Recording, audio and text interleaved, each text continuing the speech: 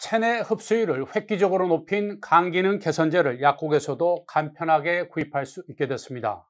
한미약품이 독자적으로 개발한 마이크로 에멀전 제제 기술을 적용한 실리마린 성분의 강기능 개선제 실리만 연질 캡슐을 일반 의약품으로 리뉴얼해서 최근에 출시한 것입니다.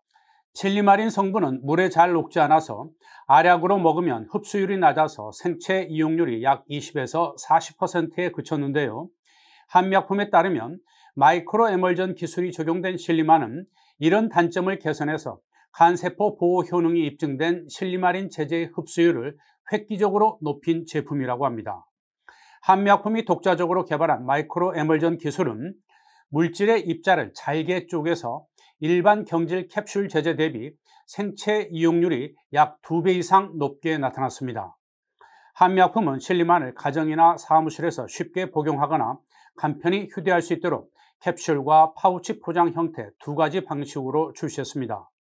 한미약품 측은 실리만은 음주 전후에 간 기능 저하 등에 따른 독성 간 질환이나 만성 간염, 간 경변에 도움을 줄 수 있는 일반 의약품으로 약국에서 유통되기 때문에 빠른 매출 상승을 기대하고 있습니다.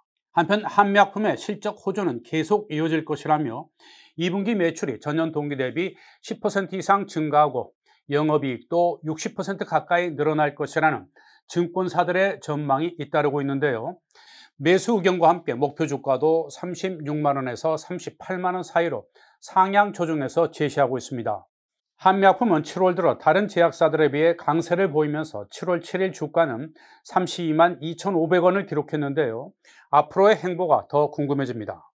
여러분 고맙습니다.